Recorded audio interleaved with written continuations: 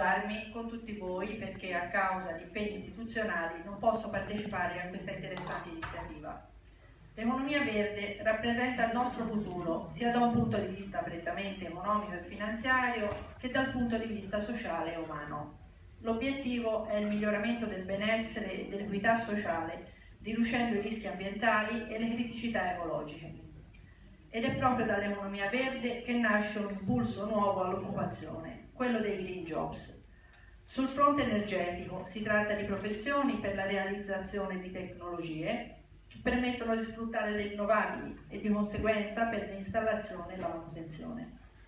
Un altro settore che può offrire molte opportunità è quello della manutenzione e della difesa del territorio, prevenendo dalle conseguenze di eventi atmosferici violenti come quelli che si sono verificati negli ultimi anni, frane, alluvioni, lunghi periodi di siccità, ma anche dalla diffusione di inquinamento che rende necessaria sempre più spesso la bonifica dei terreni.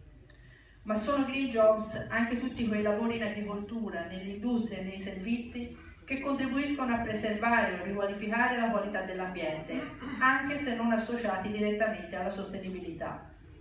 È il lavoro che contribuisce alla tutela dell'ambiente e alla riduzione dell'impronta ecologica, occupazione che migliora la qualità della vita e del mondo in cui viviamo.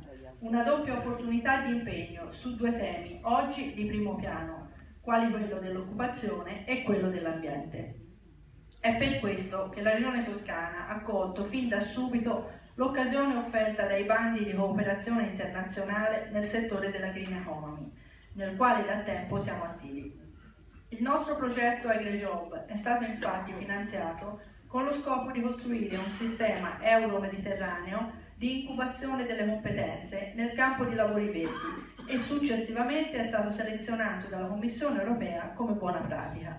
EgreJob è per tutti noi l'occasione di approfondire la materia e costruire così una base conoscitiva di alto livello che potrà essere input per la definizione di strategia di sviluppo futuro. Nel periodo 2008-2014, una su quattro imprese italiane dell'industria e dei servizi hanno investito in tecnologie green, nel manufatturiero una su tre. Queste aziende sono più dinamiche sui mercati esteri, innovano di più assorbiranno fra il 40 e il 60% delle assunzioni e rilevano un aumento del fatturato superiore alle altre.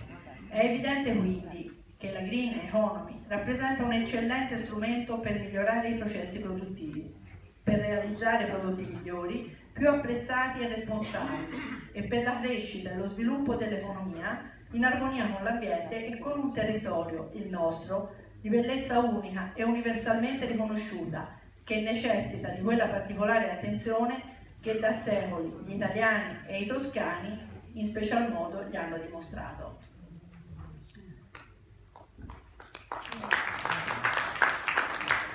Ringraziamo naturalmente il Presidente della Regione Toscana per il suo contributo e cogliamo l'occasione della presenza del sottosegretario Silvia Velo per Mm, diciamo, affrontare subito le questioni che hanno a che vedere appunto con l'ambiente. Sì, grazie, grazie alla CGL non solo per l'invito ma soprattutto per aver organizzato questa occasione discussione. Io